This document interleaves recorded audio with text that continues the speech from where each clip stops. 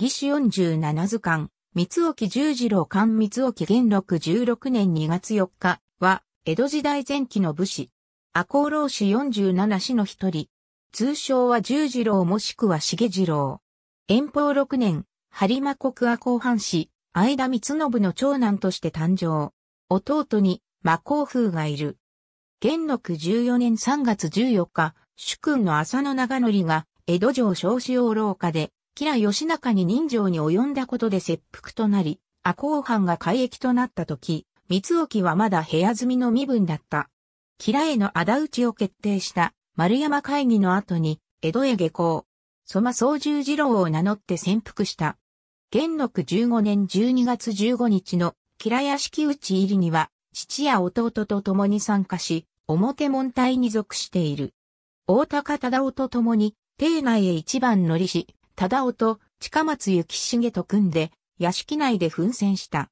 三沖たちが住小屋を探索し、中にいた人物の一人に、三沖が初槍をつけ、竹林隆重が惨殺した。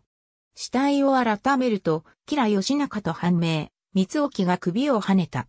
老子たちは、浅野長則の墓所、芝仙岳寺へ引き上げ、一番槍をつけた三沖が最初に昇降した。三河岡崎藩、水野忠之の芝中屋敷にお預けとなり、元禄16年2月4日、幕命により三沖は、水野家家臣、青山武助の解釈により切腹した。去年26。海名は派、沢蔵、剣真治。三沖は、マヤ伝来の天竜剣術を、父から祈祷流獣術を藩士の平野、来県からそれぞれ学んだ。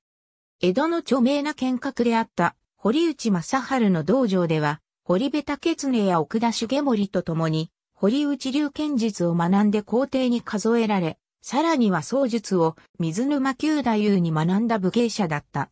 一説には中古賞金樹。遺言で剣の同門である細い光沢に鉄棒を送ると述べたとされる。堀部安兵衛日記、堀内伝右衛門覚書に、紙かけて、仙学寺がさようなことはないだろうと思ったが、事実であった旨の記述、日本聖史語源辞典。ありがとうございます。